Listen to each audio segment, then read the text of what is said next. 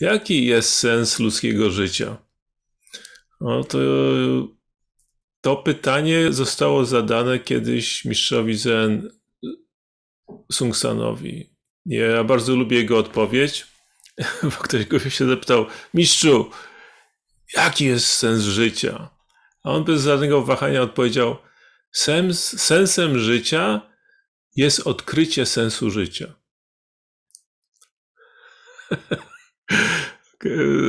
tak trochę śmiesznie zabrzmiało, ale faktycznie no, o to chodzi, żebyśmy zrozumieli, po co tu jesteśmy.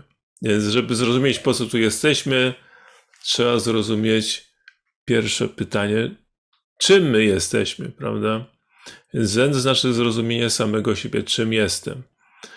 I tak jak e, każda szanująca się firma, która rozumie, e, czym jest, jaką ma tożsamość, prawda?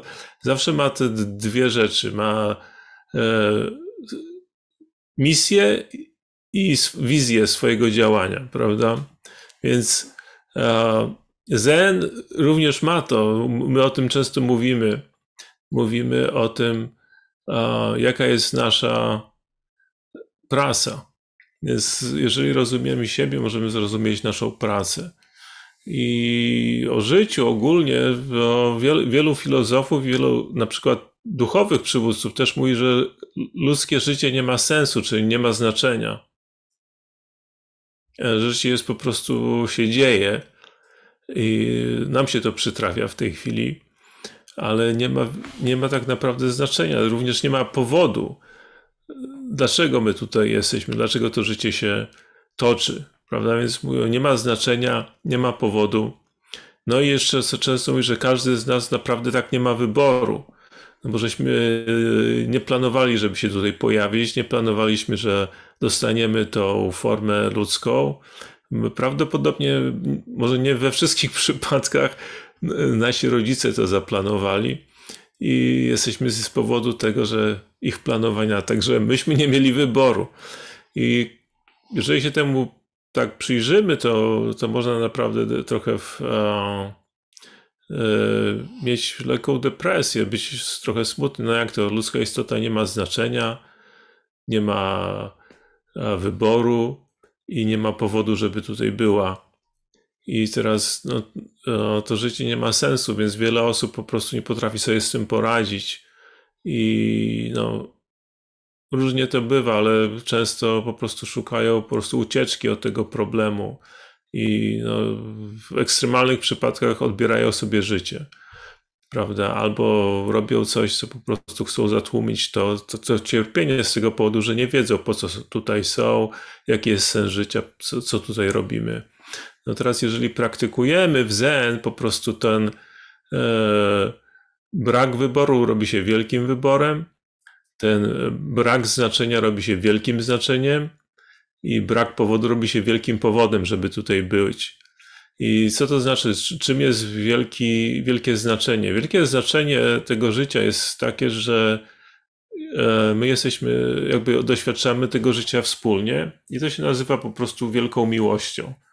Czyli miłość z buddyjskiego punktu widzenia jest jakby życzeniem, żeby wszystkie istoty, no przeważnie się, e, mamy miłość do osób, które, które lubimy albo z którymi jesteśmy blisko związani, więc ta miłość jest taka, żeby ich szczęście po prostu trwało, prawda, żeby się nie skończyło, więc życzymy im, żeby byli szczęśliwi. No, jak ktoś ma urodziny, życzę Ci wszystkiego najlepszego, życzę Ci szczęścia. To jest miłość, ok? Teraz e, wielki powód, czy, e, dlaczego tu jesteśmy, jaki jest powód tego? No, wielki powód z punktu widzenia Zen się nazywa wielkim współczuciem. I co to jest współczucie? Współczucie jest po prostu też e, życzeniem, że jeżeli jakieś istoty wokół nas cierpią, żeby ich cierpienie się skończyło. Więc miłość jest życzeniem wielkiego szczęścia, żeby ich szczęście się nigdy nie skończyło. No a jeżeli mają cierpienie, no to mamy powód tutaj być, właśnie mieć wielkie współczucie i pomagać im usunąć to cierpienie. Teraz brak wyboru. No wygląda, że możemy nie mieć wyboru, ale tak jeżeli pomedytujemy troszeczkę, to w końcu zaczynamy się łapać na tym hola hola. My tutaj mamy wybór. Cały czas, ok? Czyli ten, ale czym jest wybór? No jeżeli już jesteśmy na tym świecie, to możemy coś wybrać. I dla nas praktykujących osób, my wybieramy wielkie ślubowanie, czyli e, w sanskrycie się mówi e, bodhicitta, czy po polsku umysł body, po koreańsku się nazywa borishim.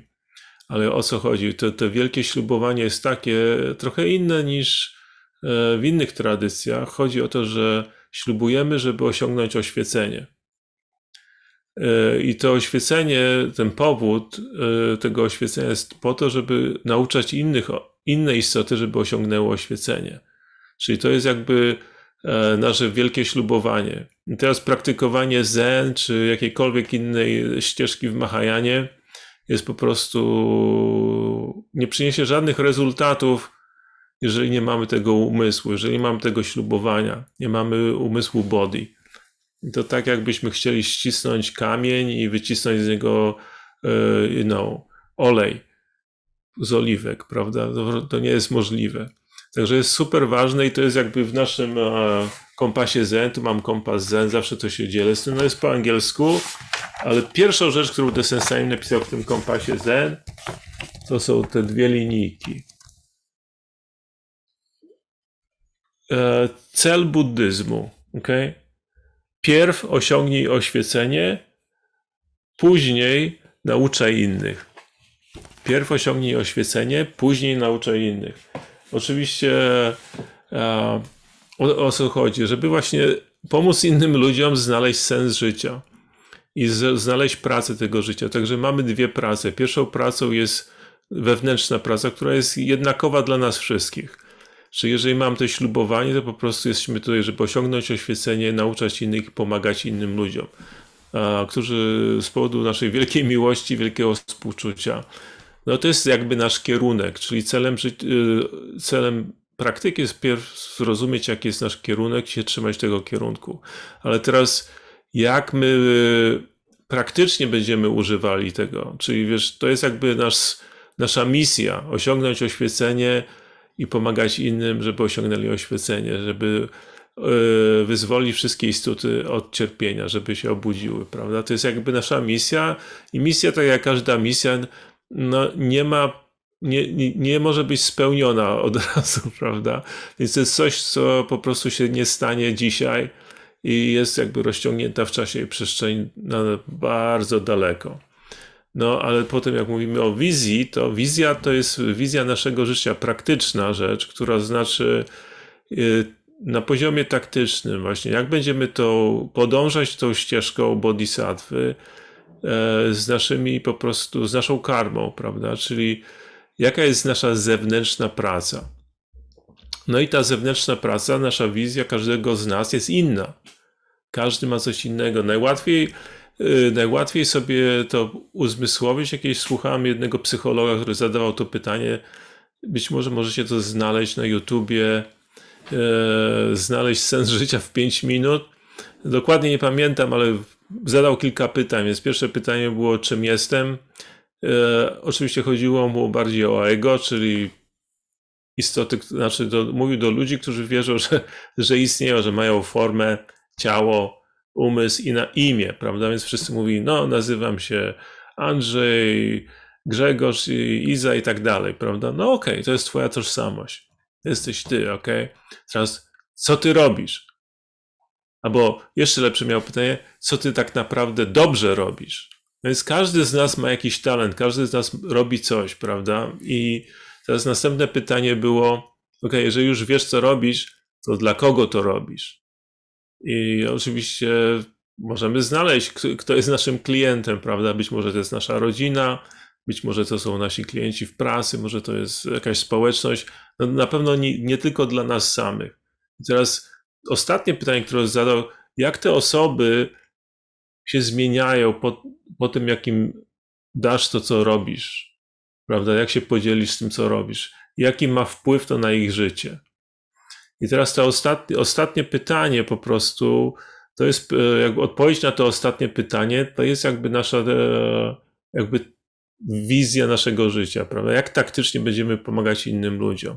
I tak naprawdę on powiedział, najlepiej się przedstawić, jeżeli ktoś zada wam pytanie, co robisz, prawda? To nie mówisz, że jestem lekarzem, kierowcą, czy emerytem, czy, czy księgową. Mówisz po prostu, co właściwie dajesz innym. I na przykład, możesz tak, dał fajny przykład, mówisz, że ktoś jest y, pisarzem, prawda? I pisze bajki dla dzieci. Ale tak naprawdę, co, co te dzieci mają? Mają fajną, fajne sny po wysłuchaniu bajki do, do poduszki. Także on po prostu, a, jego wizją, misją życia jest pomaganie innym, a konkretnie e, pomaganie dzieciom, żeby fajnie zasypiały z, z, po wysłuchaniu przyjemnej historii, czy miały fajne sny. No i to oczywiście zmienia jakby całą perspektywę e, rozmowy z kimś innym. Więc my często po prostu się fiksujemy na, na naszej pracy, na jakimś e, ideale, dlaczego tu jesteśmy. I no, większość jest z nas po prostu trochę na, e, w defensywie, czyli zdarza się, że po prostu jesteśmy, reagujemy na to, co się nam przydarza. Czyli musimy zapłacić e, rachunki, zadbać o, o naszych rodziców albo bliskich, e, jakoś mamy sytuację w naszej społeczności i tak dalej, więc po prostu pomagamy, pomagamy, pomagamy, coś robimy, ale jesteśmy ciągle jakby, e, nie mamy jasnego jakby spojrzenia na to, jak pomagać. I często jest tak, że pomagamy w niewłaściwy sposób, raniąc siebie przy okazji. Także no, Kwan Bosal w naszej szkole, prawda? Mówi się Kwan Bosal e, tylko dba o szczęście innych istot. Cały czas słucha, e, czy ktoś jej nie potrzebuje. Jak potrzebuje, to idzie do pracy i tylko działa dla innych, prawda? No więc jak działa dla innych, e, nigdy nie myśli o sobie, prawda? No i ja nigdy nie słyszałem żadnej, w żadnych wiadomościach, że Kwan Bosał nagle miała kryzys, zachorowała, bo musiała pójść do psychoterapeuty, bo po prostu za dużo, za dużo pomagała innym i się wypaliła, prawda? Więc zaraz, dlaczego się Kwan Bosal nie potrafi wypalić, tylko pomagając innych, bo, ponieważ nie ma ego.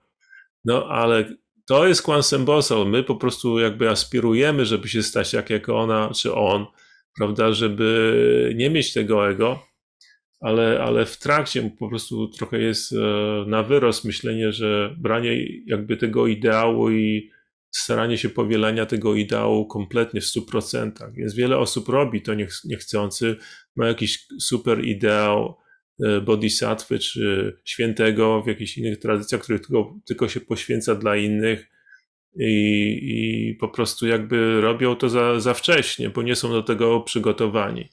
Więc e, My mamy ego, być może któregoś dnia po prostu to ego nam odpadnie, ale my mamy również nasze potrzeby, prawda? I teraz a, wiele osób po prostu jakby no, powoduje, że tracą energię i, i nawet chorują, dlatego że tylko jakby myślą o innych, a, a zapominają o sobie. Także jest zdrowym podejściem, e, żeby być na tej ścieżce bodhisattwy i wypełniać naszą misję życiową jest e, jakby nauczanie, które dał nam e, Misz Kyonhosun, który powiedział, że pomaganie innym i pomaganie sobie są jak dwa skrzydła ptaka. Z jednym nie polecisz. Także trzeba znaleźć ten balans, kiedy po prostu nauczyć się również mówić nie. I to jest o wiele łatwiej, jeżeli mamy bardzo jasny E, kierunek naszego życia, jeżeli wiemy, jaki jest sens naszego życia, gdzie zmierzamy, i wtedy, jeżeli kierunek jest jasny, wtedy jest bardzo łatwo po prostu podejmować decyzje i, i odmawiać czasami pomocy, jeżeli nie jesteśmy w stanie nikomu pomóc. Na przykład, sorry, dzisiaj nie mogę ci pomóc, nie jestem w formie, ale być może tutaj pójdziesz do, do tej osoby albo do tego specjalisty i on ci pomoże, prawda? ale większość z nas po prostu nie potrafi powiedzieć nie i bierze tą taką odpowiedzialność za uczucia innych ludzi, prawda, że jeżeli inni ludzie się po prostu obrażą albo mają negatywne emocje, to my to bierzemy, że to jest nasza wina. Tak, to jest jakby najprostsza recepta na to, żeby zachorować i, i po prostu e, stracić dużo energii i nie mieć w ogóle e, radości z życia. Także to jest jakby praktyka zen, która ci pozwala nam właśnie zobaczyć jasno, czym jesteśmy, jaka jest nasza wewnętrzna i zewnętrzna praca i po prostu zaakceptować to, gdzie jesteśmy na ścieżce, czyli po prostu nie starać się jakby, jak to się mówiło po Polsce, nie pchaj się na afisz, jak nie potrafisz, więc trzeba być po prostu asertywnym i, i czasami no jakby y, jasno określić nasze granice. Często jest tak, bo według mojej, ja mam taką po prostu e, nie, no nie teorię, tylko opinię, że być może złą, że bodhisattva to nie jest tak zwanym ułatwiaczem czy współuzależnioną osobą. Więc ułatwiacz, współuzależniona osoba to jest osoba, która pomaga innym, ale te osoby nie chcą się zmienić. Prawda? Więc my dajemy to, więc jest wiele przypadków, wiele ludzi cierpi, dlatego że po prostu ułatwia innym ludziom życie, i jakby składają swoje życie w ofierze, cokolwiek te osoby nie robią. No, a, ale bodhisattva to jest osoba, która tylko pomaga ludziom, czy istotom, które chcą się zmienić, które chcą się poprawić, więc ona inwestuje. To więc jak Kwansen Bosal zobaczy, że ktoś mówi, ok, ja sobie dam radę sam, nie potrzebuję twojej pomocy i, i, i nie chcę się zmieniać, to tak jak tu w naukach mówi się, Kwansen Bosal po prostu mówi, ok, no to jesteś na swoim, a no jak, się, jak zmienisz zdanie, to, to, to mnie zawołaj, prawda? Czyli po prostu odpuszcza, odpuszcza sytuacje, których no nie mają jakby po, w tym czasie potencjału na, na pozytywną zmianę. E, nigdy nie, tak jak zawsze się dzielę z wami, że nigdy nie należy robić tak zwanej wewnętrznej egzekucji na żadnej osobie, czyli po prostu no, jako praktykujące osoby musimy podążać za naukami, które mówią, że każdy ma naturę Buddy, więc potencjał zmiany każdy ma i każda osoba e, ostatecznie się rozwinie e, i zmieni swoje, swoją karmę i, i osiągnie oświecenie. I no, po prostu nie robimy tej egzekucji, ale nie możemy też podążać za, za tą osobą, jeżeli ta osoba po prostu nas wykorzystuje, prawda? To też nie jest właściwa sytuacja, więc wewnętrznie ok, wszyscy jesteśmy równi, ale w tym momencie może nie dam rady komuś pomóc. No, mi osobiście się zdarzyło wiele razy, że chciałem pomóc ludziom, a nie byłem w stanie. No i po prostu musiałem to zaakceptować i zrozumiałem, że faktycznie czasami trzeba odpuścić i odpuścić nawet pomaganie ludziom, z którymi jesteśmy przywiązani bo nie jesteśmy w stanie im pomóc w tym czasie. Może nie w tym wcieleniu, może w następnym, ale wewnętrznie zawsze zostawiamy ich, że e, te osoby mają potencjał.